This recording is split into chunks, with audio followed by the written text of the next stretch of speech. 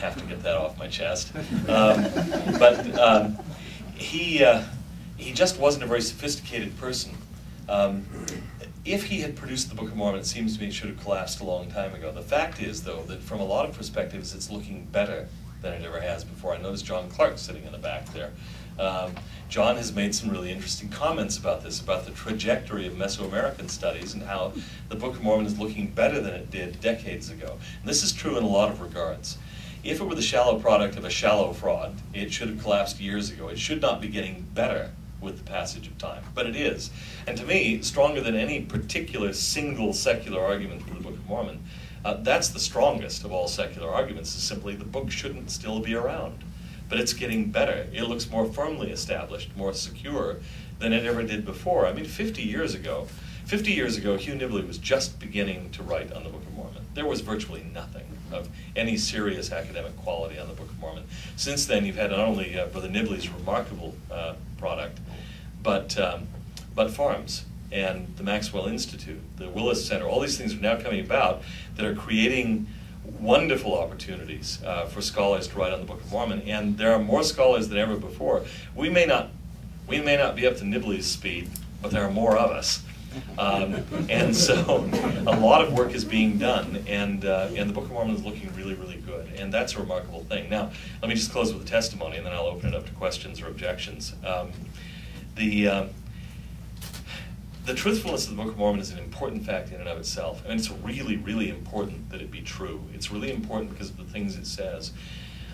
Even more important than the Book of Mormon itself is what it points to, which is that it's a second witness for Christ. It's a witness that there is a God, that He does care about us, that He cared enough about us to send His Son, who sacrificed Himself on our behalf, and who makes it possible for us to return to the presence of our Father in heaven.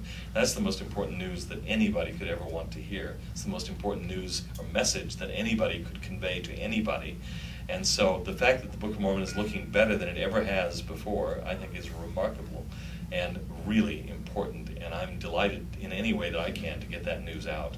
By bearing my testimony that it is true in the name of Jesus Christ. Amen. Amen. Amen. Now, I will take questions. Are there of the translation process, and which ones in your mind are the most credible and which ones are the least?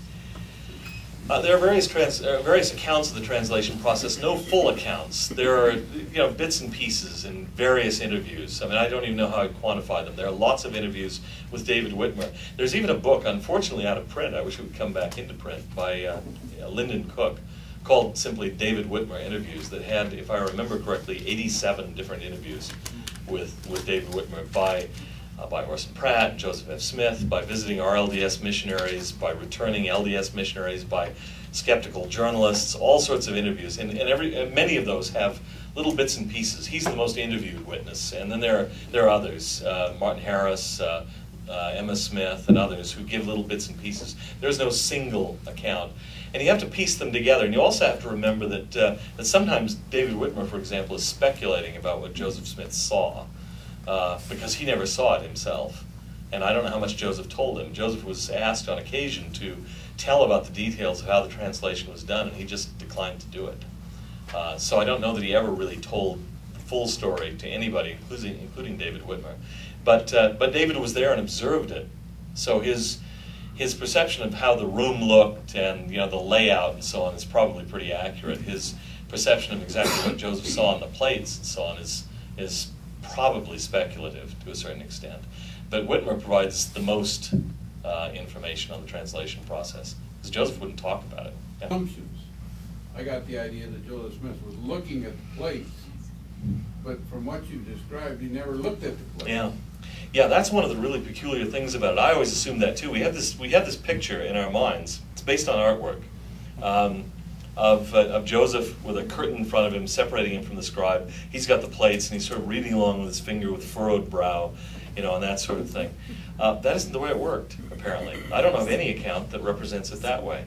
Um, you know, the fact is that just looking at the plates, Joseph couldn't translate them any more than I could translate a page of Chinese. I could look at it all day long, uh, and I couldn't come up with anything except by some sort of inspiration or revelation.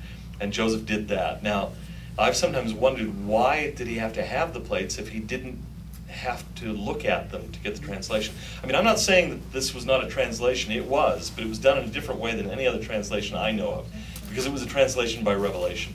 He wasn't doing it like I would, with a text in front of me. I've been doing it today, I do it most days, where I have a text in front of me and a lexicon to my right hand, and you know, I'm following along and trying to figure it out and so on. That wasn't the way he did it. He didn't know Reformed Egyptian any more than I know Sanskrit. Um, um, but why would the plates be important? I think, for one thing, maybe as reassurance to him. We assume, and I think this is one of the contributions of Richard Bushman's biography of Joseph.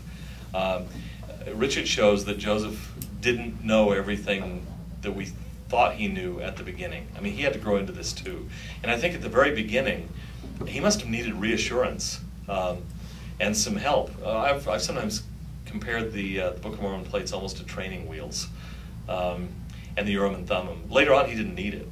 He could get re- revelation without it, but it really helped him at the beginning um, to have something tangible. Let him know this is not just you imagining things.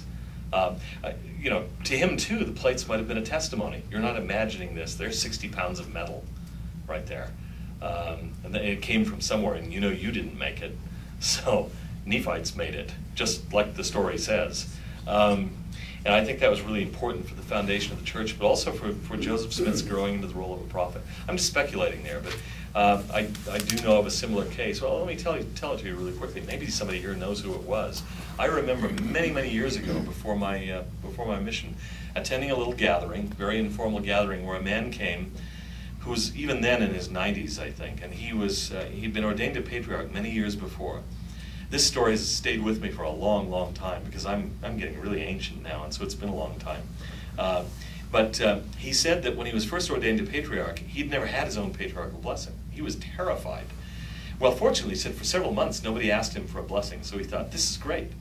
I may, I may have a long tenure as patriarch and have the honor of it, never actually have to do anything. Um, but then, unfortunately, some kid contacted him and wanted a blessing, and so he was scared to death. So what he did was he began researching in the scriptures um, to find out everything he could about patriarchal blessings. There were no manuals or anything. They just ordained him and left him. He was living, if I recall correctly, somewhere off in southeastern Utah or someplace, way away from anything. And, uh, and so he wrote out a patriarchal blessing that he thought would be a really good one to give, and he memorized it. And this is what he was going to give to this boy when he came. Well, he said, when, he, when the boy came and he sat him down, and he put his hands on his head, he suddenly felt impelled to open his eyes. And there on the wall opposite him, this struck me immediately as being awfully like the Book of Mormon story.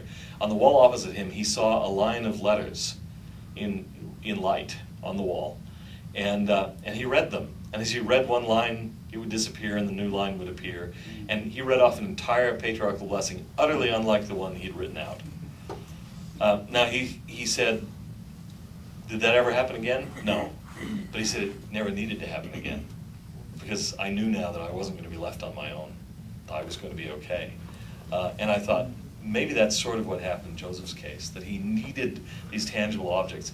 The Lord could have simply revealed the text to him. Um, and in a way he did, but he needed to have the objects there, all those things there with him, to help him understand you're not hallucinating. This is not purely subjective. And to make a point to us, too, this isn't purely subjective. People who want to say, oh, yeah, well, Joseph probably really believed it, but it's not true. Well, they've got to explain where did the 60 pound gold object come from, and the Liahona, and the Urim and Thummim, and all those sorts of things, which other people saw. Uh, so I think they're really important for that. They put this whole story on a really firm basis so you are not allowed to say, well, Joseph sincerely believed it, but it was all kind of subjective with him. No, it was if it was anything, it was not that.